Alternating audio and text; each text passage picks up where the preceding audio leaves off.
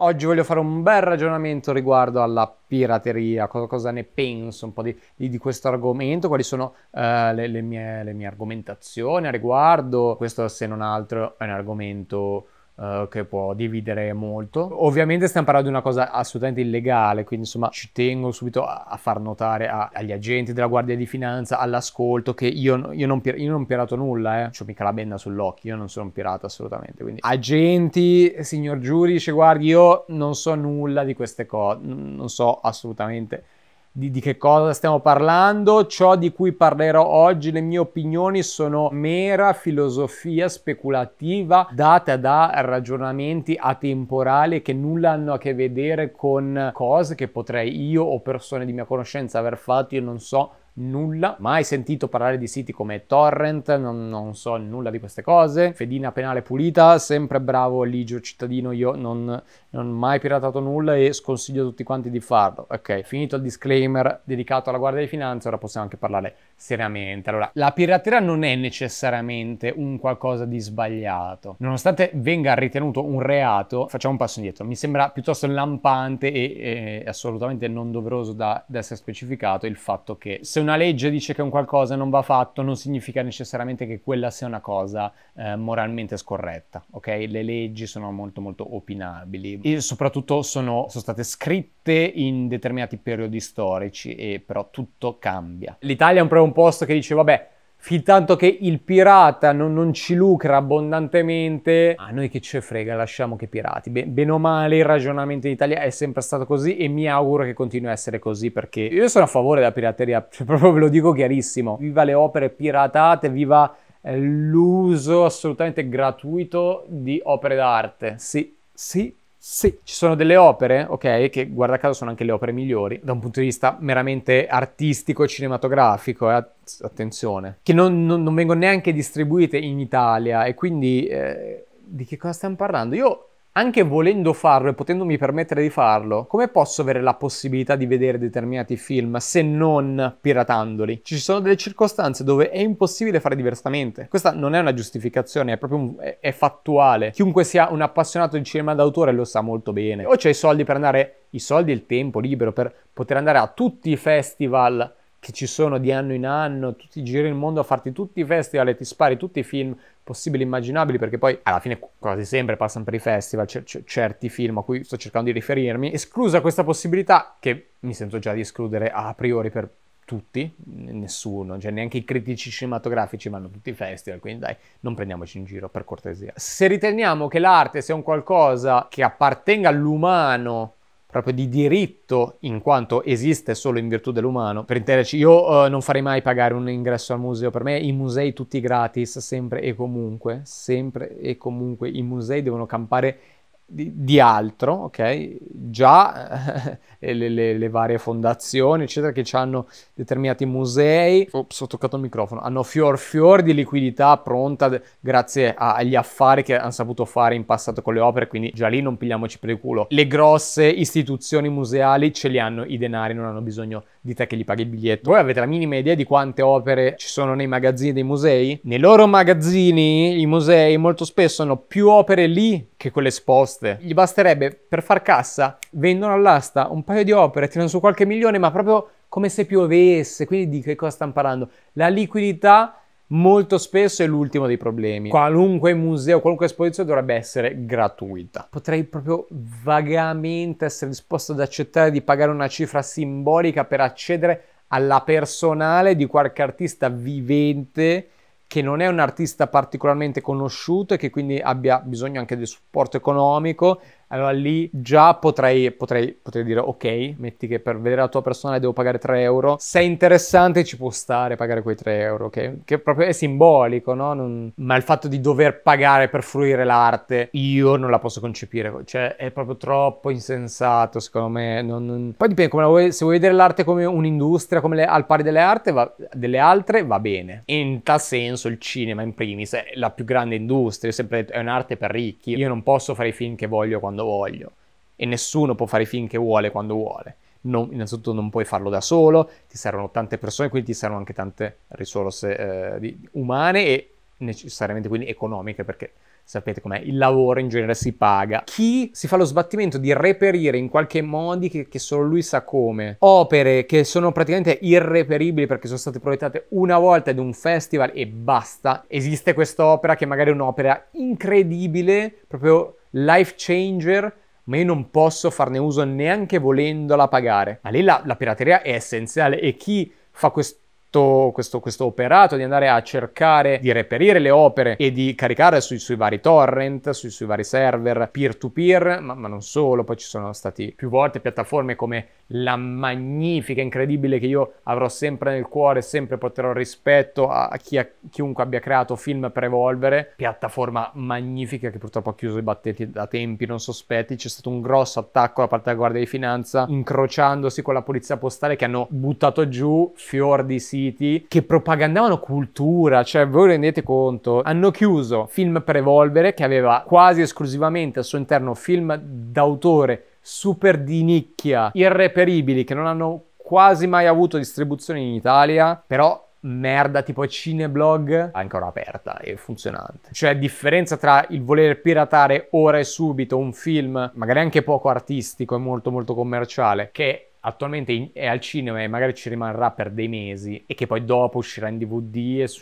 Blu-ray e quello che volete su tutte le piattaforme immaginabili o piratare una cosa che ho avuto una sola occasione nella vita di vederla che era quel festival dall'altra parte del mondo rispetto a me in quella data precisa e poi basta o l'ho recuperato lì o non lo potrò mai più vedere. Fate voi cioè due pesi due misure vi sembra lampante questa cosa. A mio modo ho dato una volta un contributo non indifferente. Io io sono la persona che ha fatto in modo che Hypnosis Display di Paul Clipson arrivasse in Italia. Chiariamoci, allora, Paul Clipson, regista super di nicchia, assolutamente sperimentale, ha fatto pochissime opere, quasi tutte dei capolavori in mani. Hypnosis Display veniva ritenuta come la sua opera magna, il suo unico eh, lungometraggio, nonché eh, la sua opera più, più matura, più completa, più, più, più, folle, incredibile. Le uniche pochissime persone che in, in Italia l'hanno visto, io gli ho chiesto come hanno fatto e tutte quante mi hanno dato la stessa risposta. Hanno scritto una mail a Paul Clipson in persona e gli hanno chiesto di poter vedere il film e lui gliel'ha fatto vedere. Io feci la stessa cosa, ma all'incirca un mesetto dopo che io gli scrissi, uscì la notizia che Paul Clipson si suicidò. Quindi quel film potenzialmente è andato perso per sempre. Qualunque possibilità di vederlo è andata via sfumata. E la sua famiglia, a quanto pare, no, non è mo- non, o non dava sufficiente valore alla sua opera, alle sue opere, al suo operato di vita e quindi non ha avuto quella che sarebbe stata una brillante idea proporre qualcosa come la Criterion Collection di fare un cofanetto di Blu-ray con tutte le opere di Paul Clipson, no, non hanno voluto fare questa cosa, hanno preferito lasciare che tutto andasse a sfumare, che quindi anche Hypnosis Display si perdesse come la criminale a pioggia e quindi era irreperibile. Qualcuno aveva il file di quel film sul proprio computer, però nessuno l'ha mai caricato su qualche piattaforma di streaming. Come si poteva fare? A un certo punto ho scovato, mi, mi è stato detto che su VKontakte, la, la versione fake di, di Facebook in versione russa all'interno di, di quel social che essendo il governo russo che gli frega loro della pirateria. Lì c'è il mondo piratato, c'è proprio una quantità di roba pirata- piratata che non avete idea, proprio come entrare su Netflix quasi però tutto piratato. E qualcuno aveva caricato Hypnosis Display. Creai un account per VKontakte. Andai a cercarmi eh, Hypnosis Display. Contattai il russo che, che lo caricò, grazie all'ausilio di Google Translator gli scrisse un messaggio privatamente chiedendogli il favore di poter avere una copia di quel file e lui molto gentilmente me lo passò. Invece che tenermelo tutto, tutto solo per me, nelle mie grinfie, potevo essere eh, forse l'unica persona in Italia a possedere il file di, di, quel, di, quel, capolavoro. E invece che cosa feci? Contattai gli, gli admin di Film per Evolver e gli dissi sentite io ho Hypnosis Display, se lo volete distribuire io vi do il file. E così fu. Ed è così che almeno qualche centinaio di persone in questo paese hanno visto Hypnosis Display. E ne vado proprio fiero perché Hypnosis Display è un capolavoro immenso che non, non so quanto sia reperibile adesso, non ho più controllato. Io purtroppo non ce l'ho neanche più perché in un hard disk che mi si è bruciato un giorno in cui divento ricco, magari eh, posso permettermi di mandare l'hard disk in camera bianca e di recuperarlo perché poi là dentro ci sono di quei film che non avete idea. Settimane di ricerche su torrent giapponesi per trovare robe assurde. C'è stato questo periodo della mia vita dove una cospicua parte della mia giornata consisteva nell'andare a reperire opere irreperibili con lo scopo di, di, vederle e di condividere con altre persone interessate a vederle. Ecco. Qualcuno può, può fare questa obiezione interessante. Senti, ma tu hai detto che facevi film. Direbbe, ma a te farebbe piacere se i tuoi film venissero piratati? E la risposta è, contattatemi alla mail xcj.live.it e vi manderò privatamente tutti i miei film che altrimenti potreste reperire su, a pagamento su Amazon Prime. Fate voi. Io sarei il primo pirata della mia roba, perché in quanto regista ci terrei che quante più persone possibile vedessero il film. Poi mi sembra chiaro che nell'interesse del produttore salvaguardare questa cosa per il profitto. Il produttore ci ha messo i soldi grazie al cavolo, cioè grazie al cavolo, è ovvio. Qualunque regista al mondo mi, mi sembra assurdo credere che se ha fatto un'opera, un'opera che valga la pena di essere vista, un'opera con una certa componente di artisticità, mi sembra assolutamente inverosimile ipotizzare che un qualunque regista al mondo non ci tenga che voi possiate vedere il film anche senza pagarlo. Qualunque artista vuole che la sua arte arrivi a quante più persone possibile e la pirateria è un ottimo modo per fare questo. Quindi se mai in futuro avrò occasione di fare un film coi soldi, veramente con un budget cospicuo, cosa che mi auguro diventi possibile un domani. Non è che ho tanti film da voler fare, mi, mi ce, ce n'è uno in particolare che mi basta fare quello e poi posso morire in pace. Una volta che il film è fatto e finito e si è fatto il giro dovuto nei, nei festival dovuti, io poi eh, una volta che è via libera io prendo e sono io il primo a caricarlo su torrent, cioè capite? Io l'ho pirato il mio film perché voglio che la gente se lo guardi. Ci sono stati casi di, altre, di altri autori che hanno fatto fatto questa cosa, eh, autopiratando le proprie op- opere. A discapito dei produttori, però mi sembra un atto politico in un certo senso e a me piacciono gli atti politici. Lanciano dei messaggi, che il messaggio è che, è che l'arte non ha, non ha prezzo, non ha costo e che dovrebbe essere fruibile a tutti come tutta la cultura mai creata a livello umano, che anche i libri volendo, magari facciamo i libri da un certo punto in poi nella timeline del tempo andando indietro, perché ci sta che un libro appena uscito lo paghi. Però se già un libro ha 50 anni, al di là di ristampe, dico ok, ci può stare che io magari lo voglia possedere per collezione o altro, però allo stesso tempo, boh, mi piacerebbe poter avere l'occasione di leggerlo e poi decidere se comprarlo. Quante volte vi è capitato di andare al cinema e vedere film di merda e qui aver buttato i soldi? A me non dispiacerebbe poter prima vedere gratuitamente il film e poi eventualmente comprarmi il Blu-ray e magari se si fa anche una bella edizione da collezione, perché no? Sono logiche, ognuno ha la sua, non è che c'è giusto o sbagliato in questa cosa. Io ho visto esprimendo la idea della pirateria, che secondo me è un qualcosa che ha anche una certa componente etica, assolutamente, sì sì, non è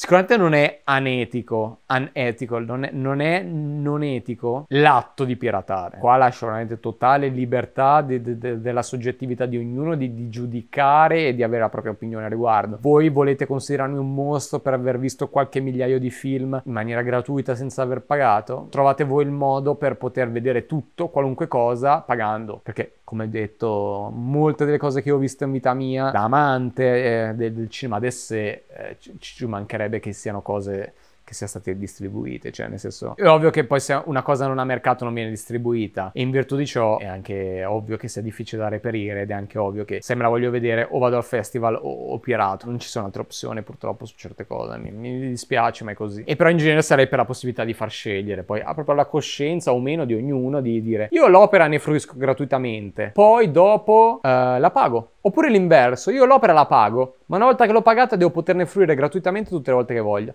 Io pago il biglietto per andare a vedere il film al cinema. Dopo che l'ho pagato quella volta, io devo potermelo rivedere anche a casa quel film. Ok, per vederlo più volte al cinema va bene perché occupo un posto per qualcun altro e va bene, però non ci vedo nulla di male. Se io ho pagato, ho già pagato, ho già pagato il costo della mia visione, perché non dovrei poterne fare altre? Tanto il film è sempre lo stesso. Una volta l'ho già visto. A te non è che cambia se non il fatto che, che puoi spennarmi ancora di più facendomi pagare ogni volta in cui lo rivedo. Cioè, fate voi, non avevo particolari argomentazioni qua. Eh, una volta che ho spiegato queste cose, per me ci sono e ho detto tutto quello che volevo dire. Infatti, questo video si conclude adesso. Ci vediamo sempre qua su questo canale. Mettete mi piace, commentatemi facendo sapere la vostra opinione sull'argomento, condividete se volete, ma non con la Guardia di Finanza. Se volete farmi una donazione per eh, per aver portato Hypnosis Display in Italia, ma anche per questo magnifico canale. Trovate tutti i link in descrizione per supportarmi. Noi ci vediamo sempre qua con un prossimo video.